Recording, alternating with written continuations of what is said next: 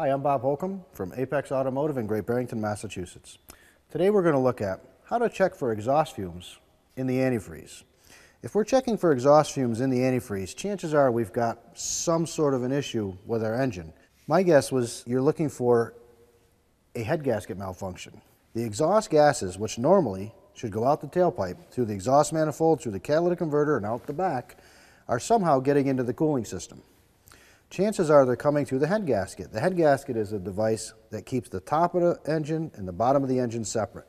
There's a series of holes and ports where oil and antifreeze flow through. If you're getting these fumes in your engine, you're going to have a couple of telltale signs. One is you're going to be consuming antifreeze with no logical place that you see a leak.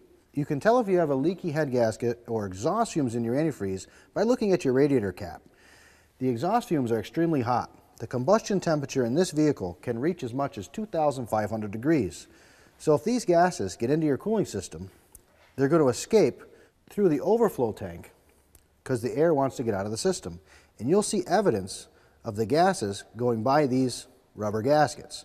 If you see telltale signs of these rubber gaskets deteriorating, you'll know that you have exhaust gases in your cooling system. The first test we're going to do on this vehicle is we're going to test the fumes that are coming out of this engine.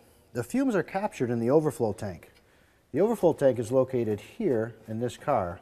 Before I test the gases in the overflow, overflow tank, I'm going to take this car for a good long ride and get it nice and hot. I want to build up as many exhaust gases as possible. If they're going somewhere, I want them to go into that overflow tank. And then I'm going to test to see if they're there. So this combustion leak tester, I'm going to put the combustion leak test fluid in the cylinder, as well as the second cylinder, up to the fill line. This fluid is specially formulated to turn yellow when it detects exhaust gases. If I was testing a diesel engine, this fluid would turn green if it detected exhaust gases. It works quite simply. I'm going to stick it on the overflow tank and I'm going to pull the air that's in the tank through the fluid. If there's any carbon monoxide or hydrocarbons in the air, it's going to turn this fluid yellow. They do two test ports in order to ensure accuracy. If I was to get a positive reading, I would do this test all over again just to confirm accuracy.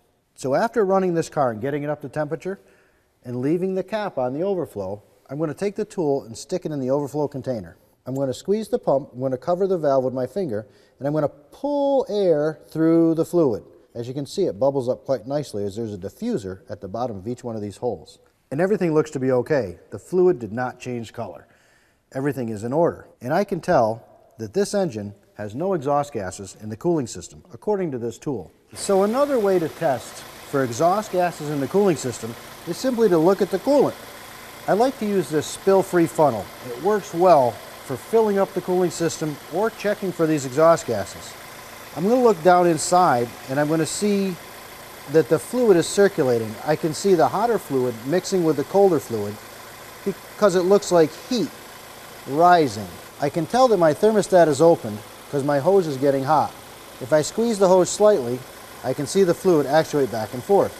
What I'm looking for is exhaust bubbles. Bubbles that come out of the cooling system with steam inside of them. Those are going to be exhaust gases, and that's pretty much a problem for this engine. We'll need to take the top of the engine apart, remove the cylinder head, and check the head gasket, as well as all the ports on the cylinder head, as well as the engine cylinders, to see how this exhaust gas is getting into this cooling system.